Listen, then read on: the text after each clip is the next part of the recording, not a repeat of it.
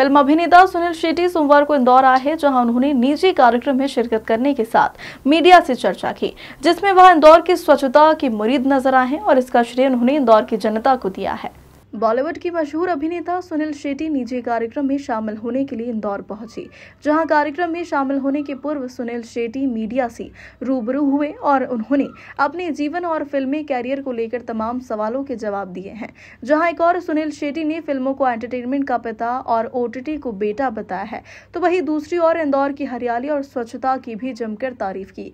सुनील शेट्टी ने कहा कि इंदौर और मुंबई की कोई तुलना नहीं है, क्योंकि इंदौर मुंबई से ज़्यादा हरा भरा और साफ़ साफ़ सुथरा शहर है, जिसका श्रेय यहाँ की जनता को जाता है। इस दौरान खुद की राजनीति में प्रवेश करने के सवाल पर सुनील शेट्टी ने कहा कि मैं दिल से भारतीय हूँ, लेकिन राजनीति में जाने का कोई भी विचार नहीं है। पापा के लिए बेटा कभी भी चुनौती हो सकता है। कभी नहीं the father of all entertainment will always be cinema उसके बाद बाकी जो जो कुछ। देखिए, उस टाइम की ओटीटी वीडियो थी। जो फ़िल्मों को डिस्टर्ब करने आई थी।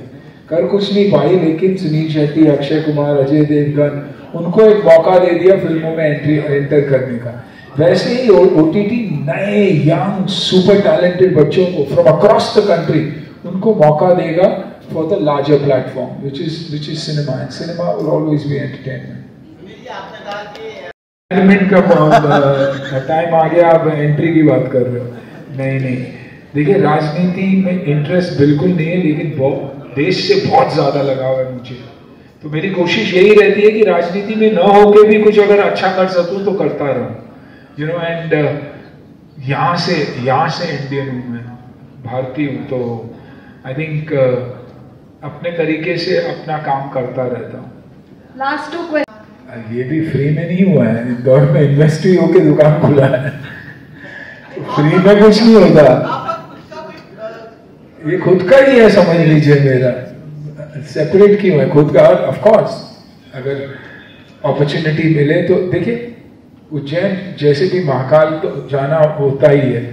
तो कहीं ना कहीं किसी न किसी वजह से यहाँ से हमेशा जुड़े रहे हैं और जुड़े रहेंगे।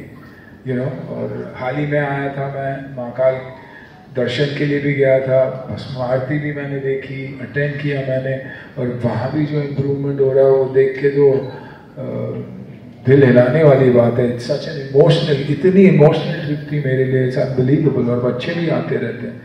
तो ऑफकोर्स कुछ ना कुछ तो होगा ही होगा, इस ग्रीन सिटी में।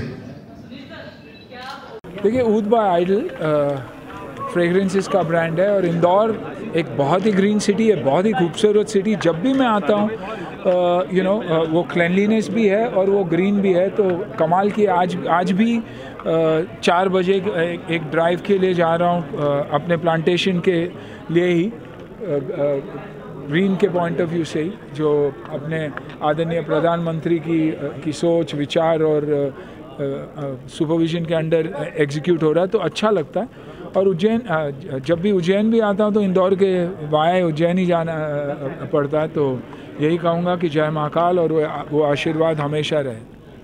जनता को लेकर इंदौर के लिए क्या कहेंगे? जनता को लेकर? स्वच्छता अरे कमाल की है सर आप प्राइज जीतते हो हर साल तो हम मुझे बार बार पूछ रहे हो आप। अच्छा बहुत खुशी की बात है और यही चाहूँगा कि हर स्टेट हमारा और हर सिटी ऐसे बने। वाकई बहुत खूबसूरत। इंदौर से नीरज बोरासी की रिपोर्ट।